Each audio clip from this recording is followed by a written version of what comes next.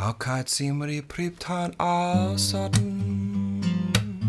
ក៏ខ្ញុំរត់ទីពតកាបាត់មកដកចិត្តពំរត់ក៏គិតកេងផ្សងតែបាត់ដំបងបងស្វាត់ចំប៉ា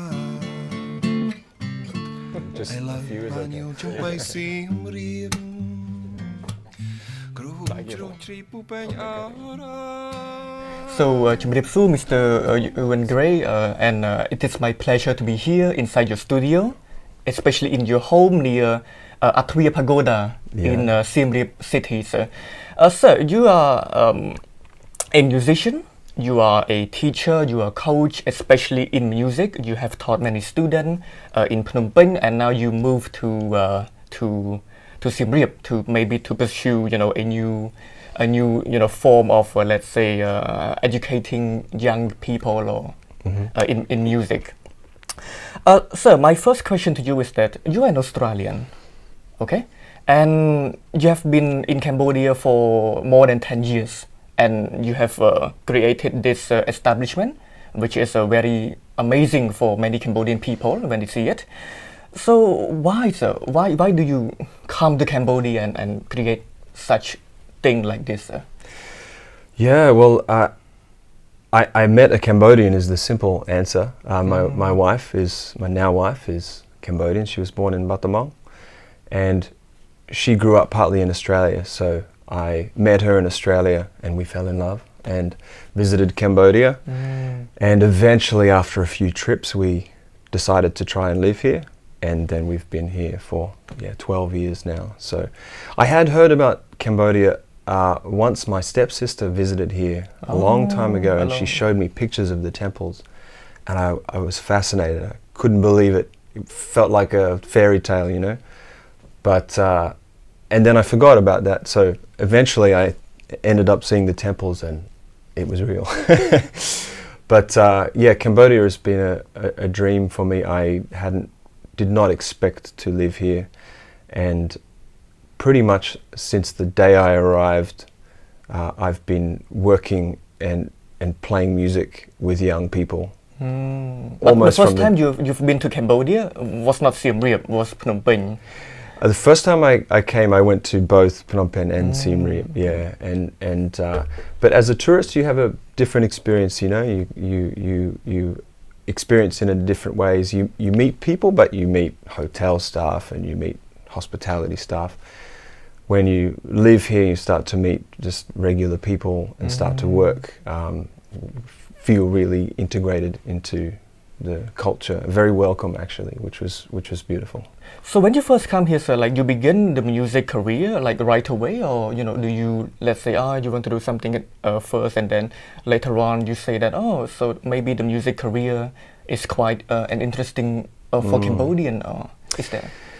Yeah, well, I was a musician in, in Australia. I had a band for 10 years or something. Mm-hmm. And when I decided to live here, I, I brought my saxophone and I brought my guitar.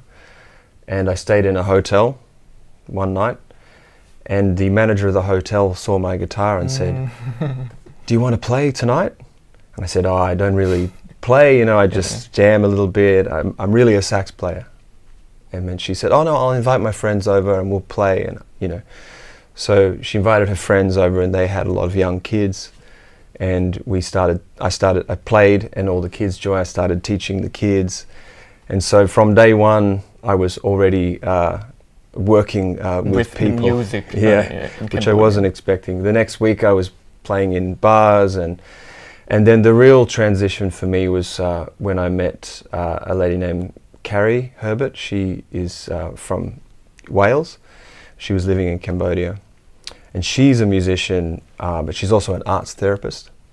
So we got talking, and we both had this really strong interest in how songwriting can uh, help people express their feelings. And we thought, "Wh- why don't we try and do a project? We know we can invite some young people in, we can teach them about songwriting, we can record their songs, and we'll just see what happens, you know. And this program we started, we got uh, uh, 12 young Cambodians in, and this was uh, called Songkites. I don't know if you heard about Yeah, I, I heard yeah. about it. I saw that. Yeah. Yeah, and, and it's it, to our surprise, like we were expecting to just uh, learn some learn some things and maybe help some people on their personal journeys. But what what one thing that happened was that a lot of the songs we produced got really famous. Um, songs like "Baby I'm Sorry" by Jimmy Kiss, "Home for Dinner" by Nicky Nicky, and others.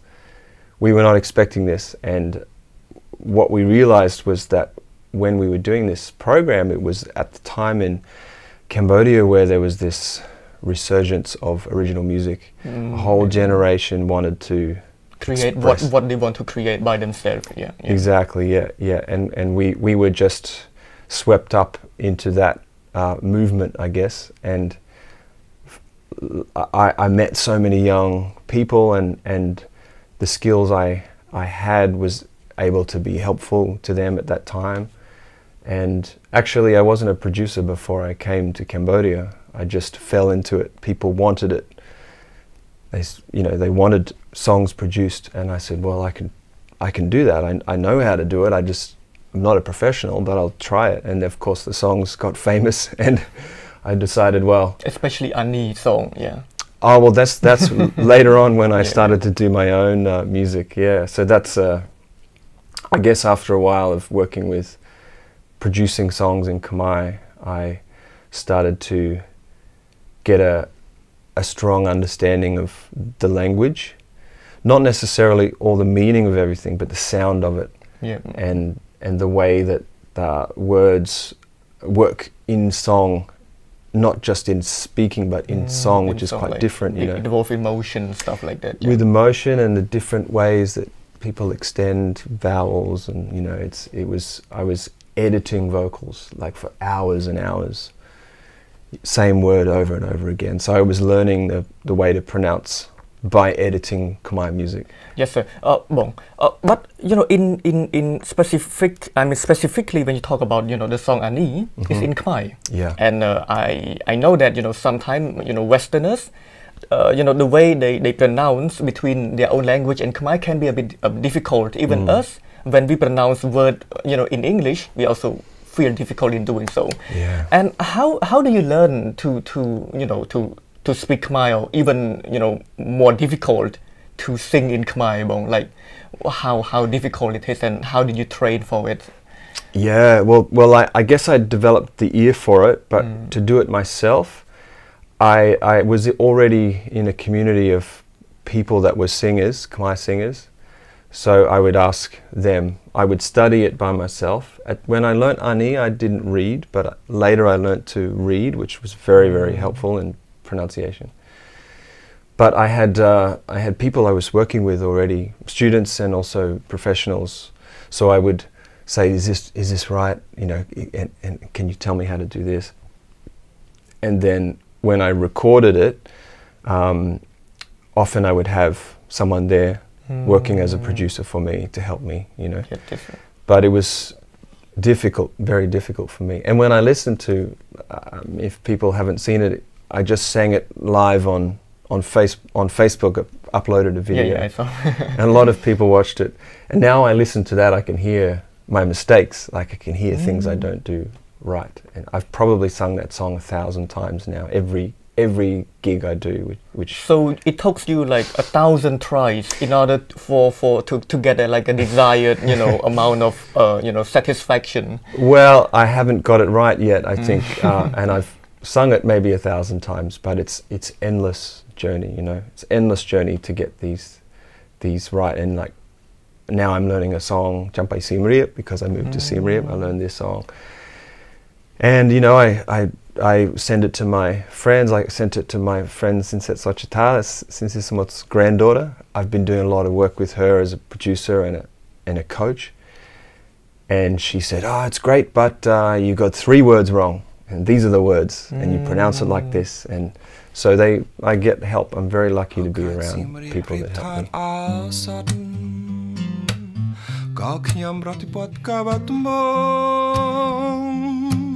ដកចិត្តពុំរត់ក៏គិតកេងផ្សង But Bong, like, uh, why why you develop a love toward Khmer, you know, like old music, like 60s music? Because you know, for some Cambodian people, I might say, oh, that seems a bit old, you know, out of date. But for you, you kind of like feel in love with it, like, why? Yeah. Well, I mean, since in particular is is just a, such an amazing artist. He's- a great singer and he's got so many different styles and creativity. Uh, he's a, an inspiration. If he was Cambodian, if he was French, if he was, it doesn't matter where he's from. He's amazing, you know. So when you find someone amazing, you want to learn from them. So there's that. Also, there's just the story of Cambodian music. You know, it's it's. Uh, I'm involved with modern music now. I produce songs for some artists that are working now, and I love that. But also, the story of the the music scene in the '60s is such an amazing But story. at the same time, the melody, you know, the rhythm, it's also something that you know you love it also. Yeah. Well, my my background is in jazz music, Mm. and when you learn jazz, you have to learn uh, a lot of uh, like interesting and and and developed ways of uh, uh, chords and and harmonies, which uh, in the '60s they were very aware of. Now it's different, you know. Now some songs are very very complex and interesting. Some songs are very simple. It doesn't mean they're good or bad, but uh, I'm just have like fe- that feeling, like Yeah, it, there's it a kicks you, yeah. there's a feeling there. Yeah, yeah, for sure. Yeah. So Bong, like uh, for the last decade that you stay in Cambodia, like how many songs have you worked on or have you produced? Like okay, I mean in, in the music industry, like okay, a creator, producer, director, it seems a bit like they, they overlap in, in, in the nature of their work. Yeah. So like can you tell me like okay what, what you have done so far? Like Yeah, well, I, I mean, I, I, I haven't counted the songs, but but maybe a hun- maybe a hundred songs I've helped other people produce, and I have my own songs as well. So, um, uh, yeah, you mentioned about roles overlapping. yeah. Like my my approach is quite uh, holistic. There's, uh, you know, in in the '60s there was five people working in the studio. You know, Mm, producer, um, engineer, uh, you know, musicians, singer. Now you kind of have to do everything by yourself often. So that's one side of it. I I often work alone with an artist and do everything with them. But my approach is actually not just let's record the song and get out of here. My approach is more like how can I how can I help you achieve the things you want to achieve? Maybe the way you sing or the style or something even emotional. I've got this song and it's about my mother and I don't know how to express it. Well, I can maybe help you express that. I like to take my like, producing into the into the realm of uh, coaching because I I think it's hard being an artist and artists want to grow and uh, they're often looking for advice and looking for help and I love to d- I love to help. So my style is to help them do that. So I'm not interested in making songs quickly and, and making thousands of songs. I'm interested in making good songs and mm. songs that help people achieve something in their career or personally. So basically, what you mean is that a song is not just something like you can create, you know, and churn out like in a specific interval. No, it has to be like inspired and. But but how you do how do you manage that? So like for example, so maybe you create like a good song once in a year or once in two years, something like that. Oh, it, it can be very different. Yeah, some some songs happen very quickly, and some songs take a long time. Um, uh, and it's up, up to the artist too. You know, I, I work.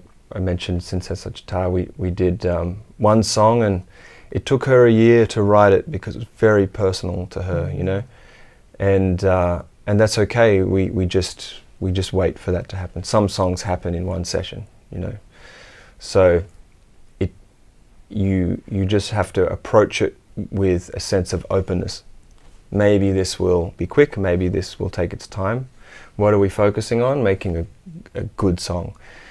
Because when people really feel uh, feel the song that they're writing or singing, the audience feels it too, you know. And so if they're interested in people listening to it, the success of a song, often you never know. But sometimes it's because they feel it, the artist feels it, the producer feels it, the audience will feel it. Yeah. Yes, sir.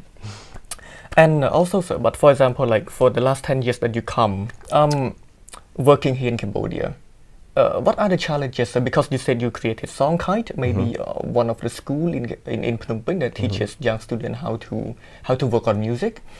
So what are the challenges that you, you face along the way, So, for example?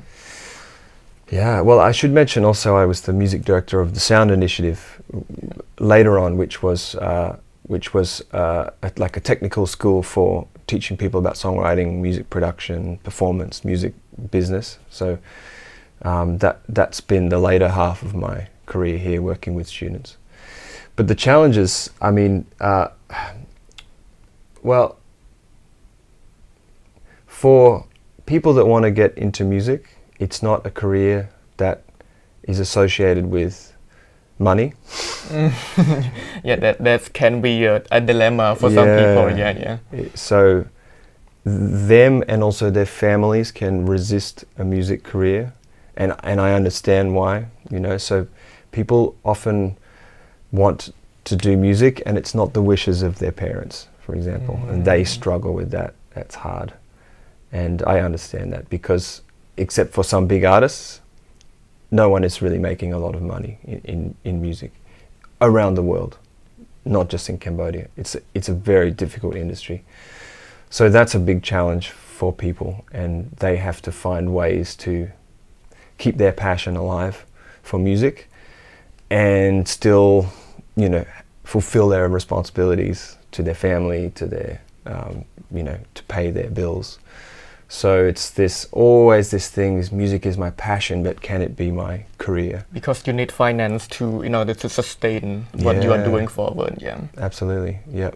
And and the industry is changing here, and there's some opportunities, but still, worldwide, music is is going down. So it's very hard, uh, e- even if the industry grows in a really positive way here.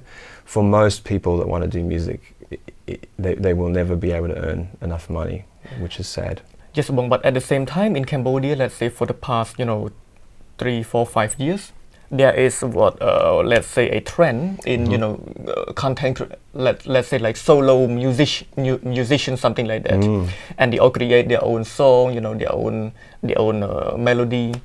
And uh, it's quite um, uh, an era in, in Cambodia right now because Yeah. uh, many people are, are are flocking to listen to their you know own musician in for I mean of their own country. Yeah. So uh, from your point of view, sir, like you are a, an expert in music also. uh, How, how do you view that, sir? Like, is it something that is good to move forward and maybe more opportunity to you to work in Cambodia? Ah, well, I think what's happened in the last three to five years, yeah. you mentioned, is uh, it's been easier to make your own music i- at Mm. home. Um, equipment's become more Cheaper. available and cheaper, and they've- people have had a lot of role models now that they know in Mm. Cambodia that make their own music, and they and have learned.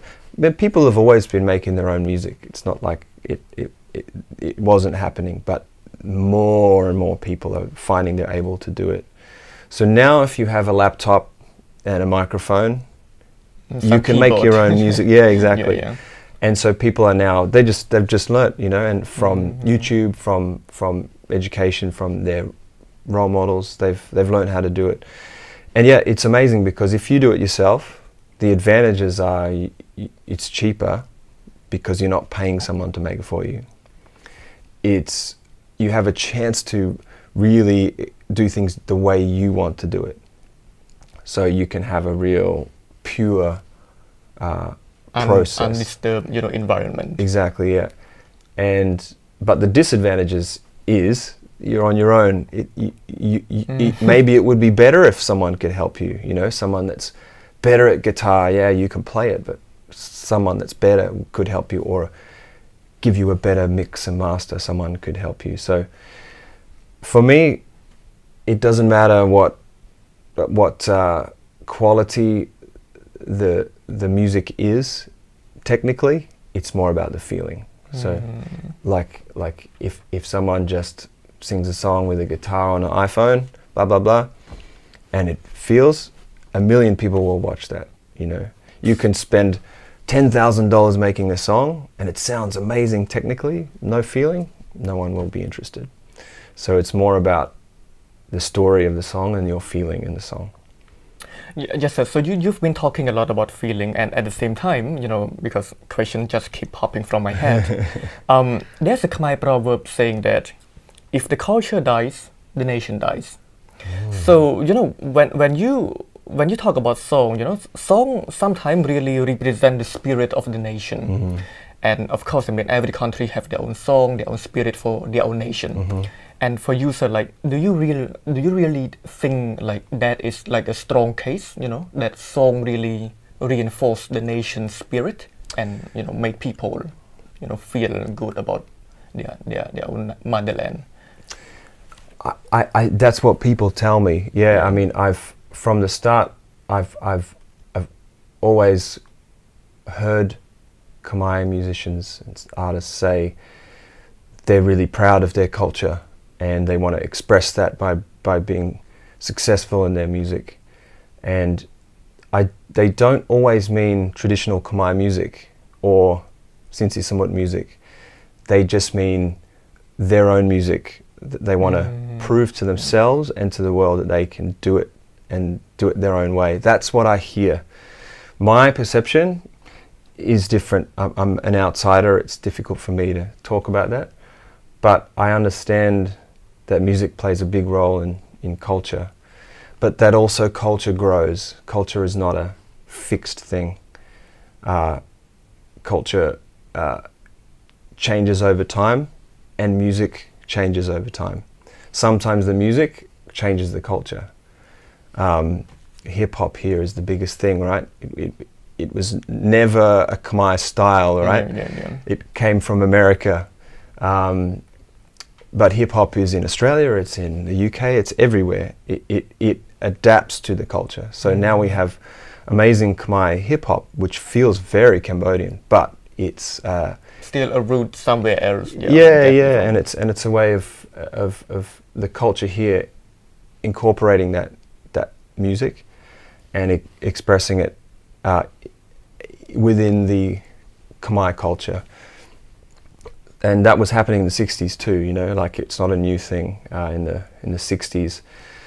A lot of that development was because of the influence from outside, and um, and that's that's happened all around the world. I'm from Australia. Yeah. Australia was uh, colonized only 220 years ago, 240 years ago or something. And uh, everything we know in Australia has come from another country, really, you Mm. know.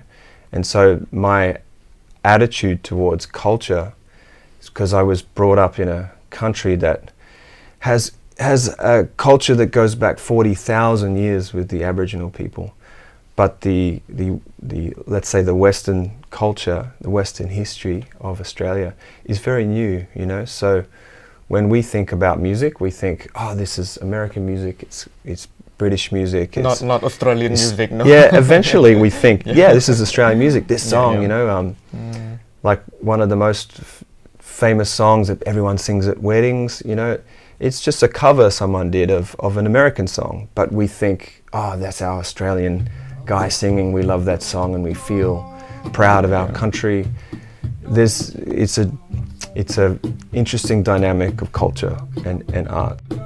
Uh, yes, Bong, like uh, you talk about the emotion of the music, stuff like that, and uh, sometimes it can be a, a bit abstract. But you know, like for example, when you play your music on stage or maybe in the studio, I mean, do you notice that oh, your music is like you know going deeper into the person by looking at, at their eyes, their facial expression? Like, do you do you know? I mean, do you get that sense a lot? Mm, that's a good question.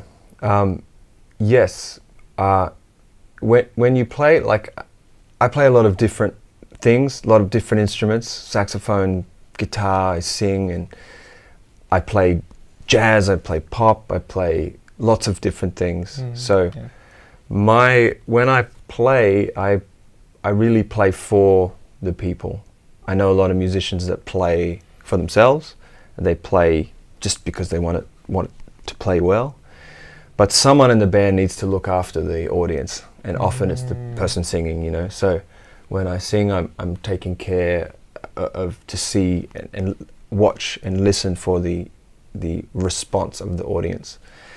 And sometimes you have to push them to be response to, to get a response. You know, how how talk do to you them. push them? Oh, talk Well, them. you can talk to them, yep, and you can like get them engaged, or you can just use your presence to uh, to engage them. Like if I talk to you like this, Yeah. it stops, you know, interaction. Yeah. You become uninterested. If I talk to you like this, it's quite a lot, right? You Yeah. feel oh, you become engaged, Yeah. uh, and so you can use your presence Body posture. body posture yeah but also the music you know you can play in a way that Mm. brings emotion to people not just you go you can really engage them with music and you know it, depends uh, sometimes you play in a restaurant people are eating sometimes you play at a Mm. big concert so many variables So and not you- just one thing that fits Yeah. all. No, no. yeah, and you, the thing with jazz is just what I play a lot is you can change very quickly. You know, Mm. you can just go quiet, go loud, fast, slow. You can adapt, and being flexible, you can see uh, these people they're actually having a nice time eating. They don't want to be engaged. We just bring it in, and then when they they start to Ambient be, sound. Yeah. yeah, when they start to be interested, you can open up. So there's a there's a big there's a uh, an interaction between what you play and how you uh, engage with the audience. And when both are working really well, it's amazing. That's what you search for. You want to engage with people, I- and that's what we're always chasing. Yes, Mom. And at the same time, I mean, here near Wat Athvear, you know, one of Mm. the ancient pagoda and Mm. temple in Cambodia, of course. Uh, I mean, like, frankly speaking, you know, like, some Cambodian, they want to move to Australia, you know, because of the skyscrapers, because of the modernity of life, you know, like, uh, you know, westernized lifestyle. Mhm. But Bong, for you as an Australian, it, seems that you're doing the opposite. You know, you come to Cambodia, you stay at the countryside. You know, cows, chicken. You know, you know the river. Why why do you choose you know the opposite of life uh, when compared to the previous mentioning? Well, Yeah, well, I mean, I'm I'm just fascinated by uh, this country, uh, and I have a very strong connection through my wife and her mother, who I live with. Uh, I, I feel connected to Cambodia through them, and I feel now connected to Cambodia through the, the work that I do and and, the, and in music. And uh, you know, you can live a, a, any kind of life in Australia. Like you could Mm. live a very simple country life. You could live a sky skyscraper skyscraper life Kind in the life. city. Yeah, yeah. Um, so I, I'm, I'm, I, I feel very lucky that I have a choice to live here. It, it's or Australia. That's that's an extremely lucky position to be in, and I still have family in Australia, so I, I'm able still to visit there and, and, and live there if I want. But uh, you know, honestly, Phnom Penh was uh, getting a bit busy and a bit crazy, right? Yeah. Skyscrapery. So uh, we decided to move to Siem Reap, where it's more peaceful and more green and uh, more sort of connected to yeah. culture and More yeah. relaxing in, in general terms. yeah, exactly, exactly. Yeah, and it's amazing. I mean, it's f- what Athvear is f- maybe 500 meters away, and uh, you know that's just so much tradition right here in in this place. You know, and um, I'm actually working on a project in uh, in Angkor as a as a documentarian and a, and a writer, which is not a music project.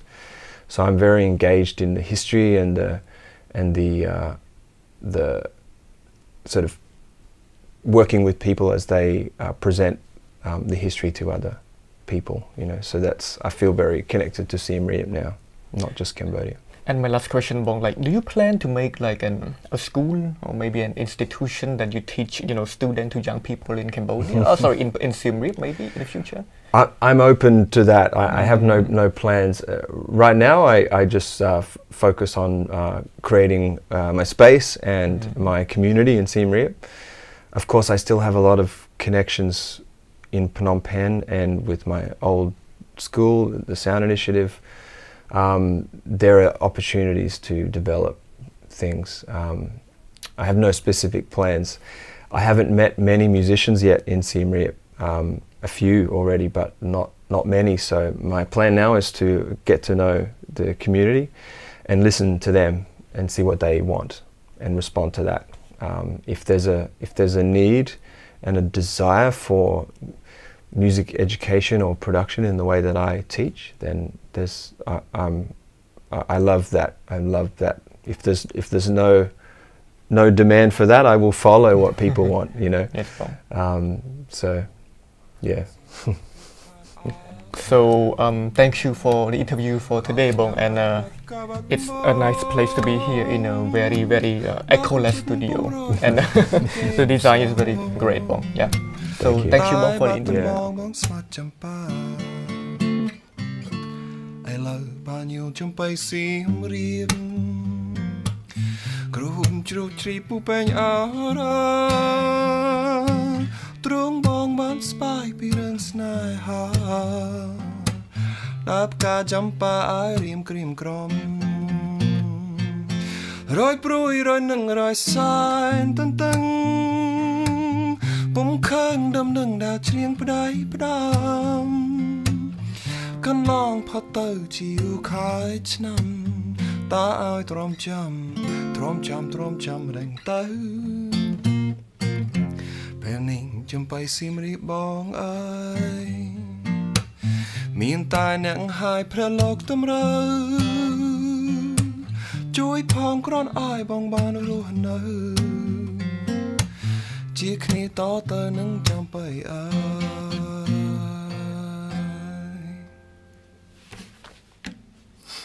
យ